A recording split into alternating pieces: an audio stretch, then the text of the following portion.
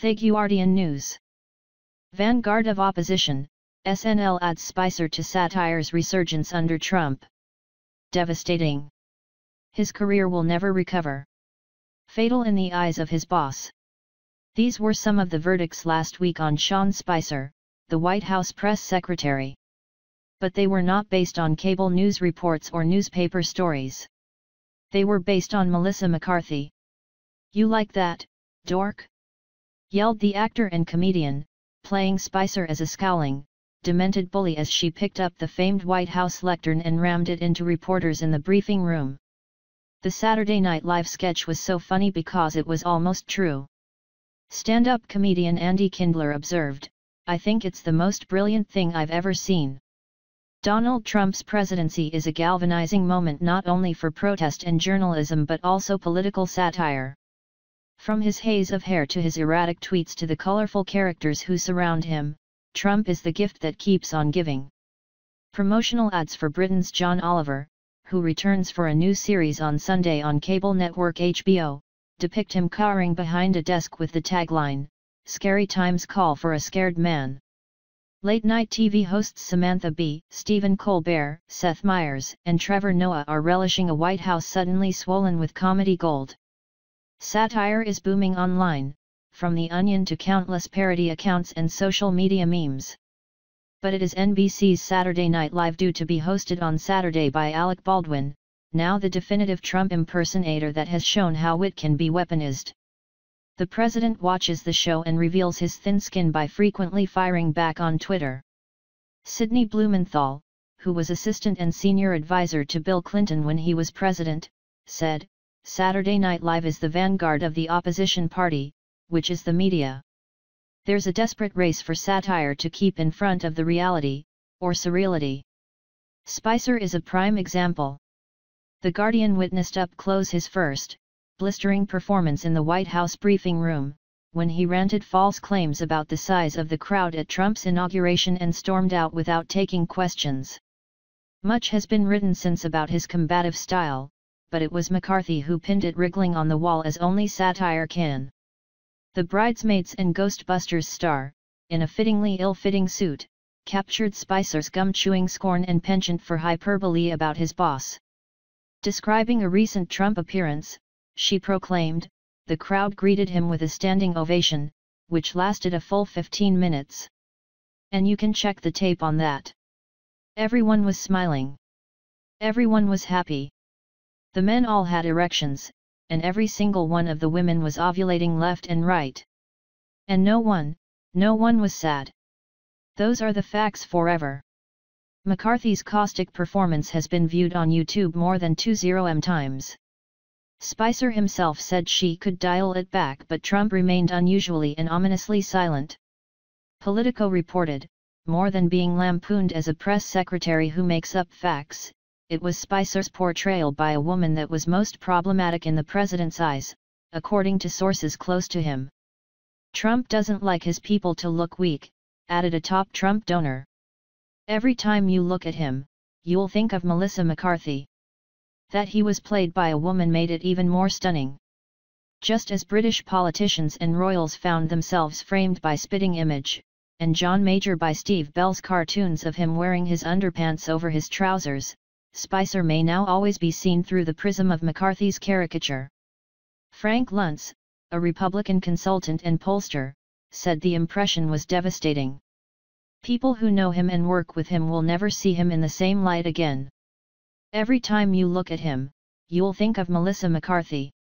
She looked like him and the fact he was played by a woman made it even more stunning. From the other side of the aisle, Bob Shrum, a Democratic consultant and strategist, reached for the same word, devastating. He continued, forever after he will be Melissa McCarthy. You watch the daily briefing and you see Melissa McCarthy. Other senior Trump aides include Kellyanne Conway, notorious for statements about alternative facts, and Steve Bannon, an alleged white nationalist who has spoken admiringly of Darth Vader and Satan and is portrayed on SNL as the Grim Reaper. This week comedian and Trump foe Rosie O'Donnell changed her Twitter profile picture to look like him and offered to play the part. Shrum said, There's so much here to satirize. Imagine trying to do same kind of satire to the same comic effect on the Barack Obama administration. People would laugh but it would not create that indelible impression of the president and those around him. Trump creates the opportunity for satirists that no president has done, not even Nixon. He added, Saturday Night Live is very powerful. It's become a cultural phenomenon in a way it hasn't been for years. It's got a whole art form in taking our politics and showing them through a different lens. According to Variety, the show's ratings have increased by 22%, its strongest start to a season in more than two decades. Launched in 1975, SNL is an American institution with alumni including Dan Aykroyd, John Belushi, Chevy Chase, Will Ferrell, Tina Fey, Bill Murray, Eddie Murphy, Mike Myers, Amy Poehler, and Kristen Wiig. Saturday Night Live is what Roman satirists were in the ancient world. From cycle to cycle to cycle they hit it right. After lean years it enjoyed a renaissance during last year's election. Trump himself hosted one episode, drawing protests, but then he was mercilessly lampooned by Baldwin, while Kate McKinnon earned plaudits as Hillary Clinton in memorable spoofs of the presidential debates. After Trump's shock victory, McKinnon's Clinton turned up on the doorstep of an electoral college member, silently working through handwritten cards in a pitch-perfect imitation of the film Love Actually. Baldwin's Trump was confronted at a press conference by bare-chested Russian President Vladimir Putin brandishing a PP tape an example of how satire can cut through the fog of media rumor, denial, and innuendo with a simple message. Jon Meacham, a presidential historian, said, Saturday Night Live is what the Roman satirists were in the ancient world. From cycle to cycle to cycle they hit it right. Remember Tina Fey as former vice presidential candidate Sarah Palin. Now it looks as though we may be entering a golden age. The Trump presidency is a full employment act for political satire, both professional and amateur. If he passes no other stimulus bill, he has created a lot of work there. It is evident from Trump's tweets that he devours cable TV news, sometimes he responds to an item that appeared minutes earlier on Fox News, or takes a swipe at CNN. He regularly lambasts the failing New York Times. But it is clear from his outbursts that, despite the heavy burdens of state, the most powerful man in the world also finds time to monitor Saturday Night Live. Bill Burton, a former deputy press secretary who has stood at the lectern in the West Wing, said, What's remarkable about how Saturday Night Live has treated the Trump administration is how the Trump administration has reacted to it. It's effective in that it's getting under the skin in a way it shouldn't be getting under their skin. When you're in the White House, you're at the absolute pinnacle of global power. So to spend any time at all talking about a Saturday night TV show is remarkable. At its best, satire can speak to deeper truths than the news of the day. The Onion, founded by two students in 1988, has seen presidents come and go but never one like this. Steve Bannon mixes discarded climate change report with saliva to build final wall of nest, read a headline last week, with a picture of an alien-like nest in the White House. Far newer on the scene is Donald the Unready, a Twitter account that casts the president as a medieval king, Canute. What a loser! Can't even hold back the sea. It's just water. We're going to be so tough on the sea. Canute was too soft. Sad. And when Spicer asserted last week, I don't think the president owns a bathrobe. He definitely doesn't wear one, pictures of Trump in that garment inevitably raced across social media. Dark humor has also been manifest on many of the placards carried by protesters in Washington and other cities. They have included number free Melania and "Super Callous Fragile Ego, Trump you are atrocious. For years, Comedy Central's The Daily Show with Jon Stewart a fake news show before the term went from benign to malignant skewered the powerful and punctured the 24-hour news cycle. With spectacularly bad timing, Stewart quit the show soon after Trump launched his election campaign. America's ID is running for president the host declared in June 2015. Thank you, Donald Trump, for making my last six weeks my best six weeks. The court had lost its jester but Stewart was succeeded by South African Trevor Noah, who has compared Trump to African dictators such as Idi Amin and Muammar Gaddafi. The comedy is seldom closer to the bone than when Daily Show correspondent Hasan Minhaj, a Muslim, ponders what Trump's attitude to the religion means for him. Former Daily Show correspondents Bee. Colbert and Oliver and SNL graduate Myers have also run riot against the president. Bee recently announced plans for a Trump-free alternative to this year's White House Correspondents' Dinner, an annual media gathering attended by the president, officials, and celebrities. Whereas Obama proved a gifted speaker with comic timing, Trump's first dinner is likely to be a more awkward affair. Michael Steele, former chair of the Republican National Committee, said, That's a test. When you have your first White House Correspondents' Dinner, you have to make fun of yourself. It'll be interesting to see how he does.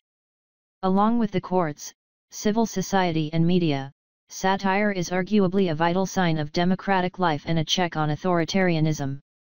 Steele, who was once turned into a Muppet by The Daily Show, said, There is a long tradition, we get it from our cousins in Great Britain. I learned more about British government members through Monty Python than anything else. In one sense it's showing respect but in another it's not showing respect and that's what makes it work. No one is calling for the overthrow of the government but we are getting you to look at your own foibles and showing that we are listening, we are taking you seriously and, when you screw up, we are going to tell you and tell the world. Dana Carvey as George Bush, Will Ferrell as George W. Bush in an SNL skit from October 2000. Dana Carvey as George Bush and Will Ferrell as George W. Bush in an SNL skit from October 2000. Photograph, NBC slash NBC via Getty Images. Thomas Jefferson. Under the title of Philosophic Cock, America's third president was depicted in a cartoon as a preening rooster courting a hen, alias Jefferson's slave Sally Hemings, with whom he fathered a child when she was 17. Political opponents sought to destroy Jefferson's presidency with accusations of promiscuous behavior and his ownership of slaves. Andrew Johnson Thomas Nast, a German immigrant dubbed the father of the American cartoon, supported Abraham Lincoln but opposed Johnson's Reconstruction policy, depicting him as a brutal autocrat and portraying Southerners as ruthlessly exploiting African Americans. John F. Kennedy Vaughn Meader, a stand-up comedian, gained instant celebrity in 1962 with his record The First Family, an impeccable voice impression of John F. Kennedy and those close to him. But when Kennedy was assassinated, clubs and TV shows cancelled Meader's appearances. He turned to drink and drugs and often referred to November 22, 1963 as the day I died. Gerald Ford Chevy Chase of Saturday Night Live played Ford as bumbling and prone to falling over. Asked an economics question during a spoof debate, Chase's Ford replied, I'm sorry, but I was told there would be no math on the exam. Comedian Andy Kindler draws a contrast with Trump, when you go back to Chevy Chase making fun of Gerald Ford falling down, I wasn't afraid of Gerald Ford blowing the world up. George H. W. Bush regularly played by Dana Carvey on Saturday Night Live.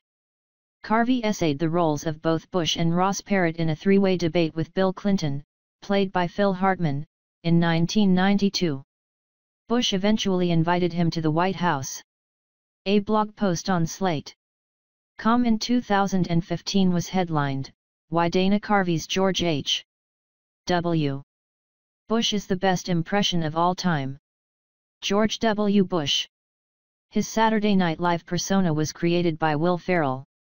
In 2001, The New York Times said, Mr. Ferrell's George Bush was an inarticulate, squinty-eyed frat boy doing his best to fake his way through final exams. Farrell still returns to the role on occasion, last year his Bush trashed Trump. Sarah Palin Tina Fey was uncannily accurate as the gaffe-prone Alaska governor who was John McCain's running mate in 2008. In one Saturday Night Live sketch, Fey's Palin said, I can see Russia from my house. Today many people think Palin herself made the statement and still mock her for it.